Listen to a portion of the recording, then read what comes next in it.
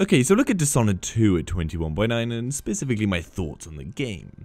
It is frustrating that this has such horrendous performance because it's taking the limelight away from what is otherwise an absolutely phenomenal game. A patch for its performance issues should be coming this week, but as of recording this there is no such improvement. So yeah, you'll clearly see that in the footage. I'm running on the lowest settings still and dipping down to the 30s. It is so annoying. But anyway, I want to talk about my time with the game whilst ignoring these performance issues. And if you want to see my full 21.9 support breakdown of the game and a quick look at the performance at 3440 by 1440, then check out my video on that linked in the description or just head over to my channel.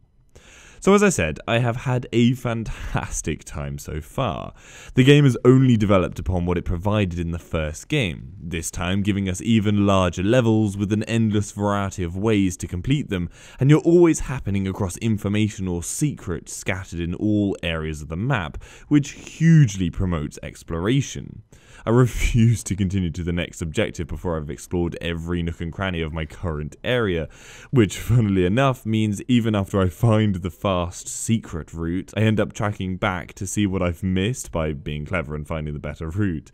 But what it means is there is huge replayability.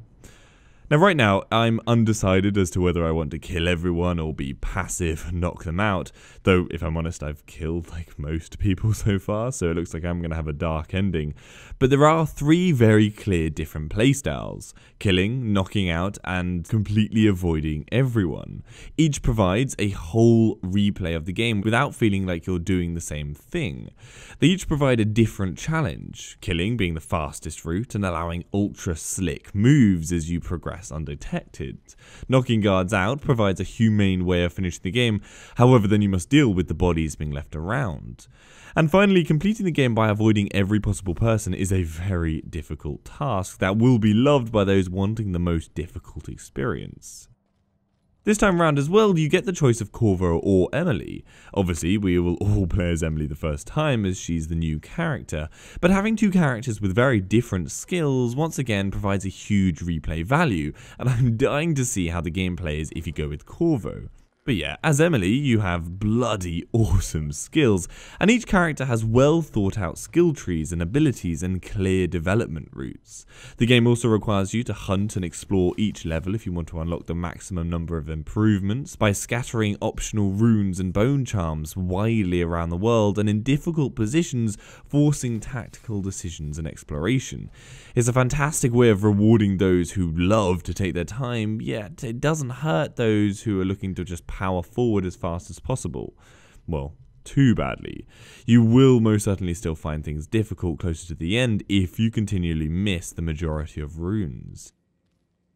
The story is compelling, I'm totally hooked, it's got intrigue, a world which I'm already invested in from the first game, and I'm curious to see how things have changed these past years as Emily has grown up. And yet the whole setting genuinely provides an experience I want to be a part of. The story isn't rushed, it's told neatly and acted out with skillful storytelling, and this is a very big tick for Arkane Studios. Other little touches, which seem insignificant, yet are unequivocally vital in making your experience better, are things like the quick save and quick load buttons in the menus, something every game that implements manual save files should have, with no exception. And the simple details in the menus, like the style of fonts and art within them, just add a personal touch. They keep it feeling with the game's world, and for the first time in a long time, was something that made me notice the menus instead of just blankly racing through them. It's a funny thing, but it's very true. The little details mean a lot. Musically, the soundtrack is well designed. Again, it fleshes out the world. It helps you feel the world as well as just look at it. I don't quite know how to explain it, but yeah, you know when a game has great sound design and soundtracks, and this most certainly has been attended to here. Graphically, on ultra settings, and yeah, I know we can't exactly run ultra settings at the moment, but if you do stick things on ultra, you can see how beautiful the world can be. The art style, the clear effort and detail that has been laboured over to fill out each level is gorgeous, and it just adds to the shame that performance is so bloody worse than crap. It's sincerely disappointing because if you can't tell already, the rest of the game is golden, and once the performance issues are ironed out, I easily, with zero hesitation, advise you to pick this up. It will provide a fantastic escape with huge replayability and a story that you will love with characters you will love. It should be noted to those who are unaware, this is really 100% a stealth game. Yes, you can go all out and slash through everyone, but it's been designed with stealth as the primary method of approach. The stealth mechanics like hiding under tables and world design mean that shooting through will mean you have a paltry experience with the game that pales in comparison to if you take longer and silently work your way through. Remember, silence doesn't mean no violence. This game has plenty of brutal killing, but the aim is to make sure no one sees what you're doing. Anyway, as always, if you want to see my 21x9 support breakdown of the game, then check out my video on that, linked in the description, or just head over to my channel.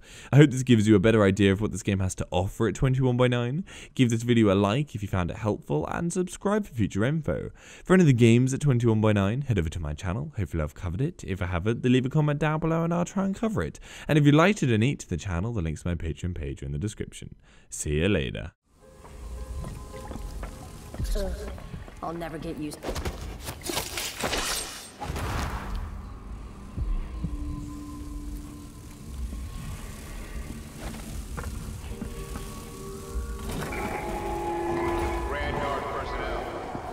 Why? They have to know something. You get another shit, another shit without pay, without pay. You're Hamilton? Why did they lock you up? You know something?